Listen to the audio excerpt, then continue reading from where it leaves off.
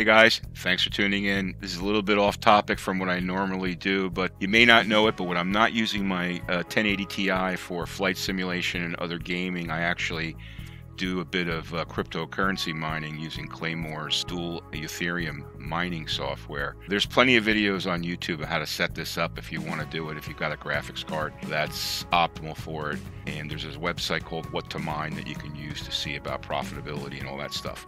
But in any event, I mean, the 1080 Ti isn't the perfect card to mine cryptocurrency with. It uses a lot of power, but I do this when I'm on my PC, just doing, browsing the internet, doing some basic stuff where I'm not putting a lot of work work on the card, and I figure in the background, why not let the card generate a little bit of uh, Ethereum, right?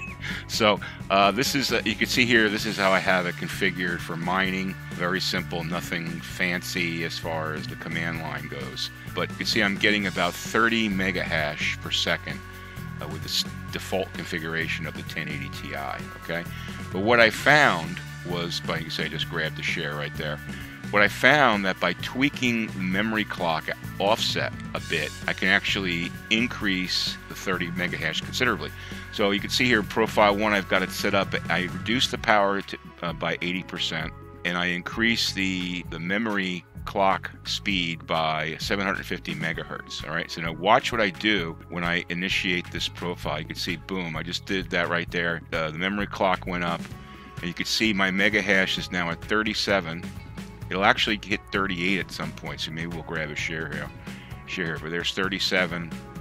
I've actually seen it hit 38. I've never seen it go above that, but still, that's a considerable increase, right? So there's a there's one at 36. That's a 10%, 11% increase in the mega hash production. So just one word of caution: if you've got a 1080 Ti, be very careful when you overclock it.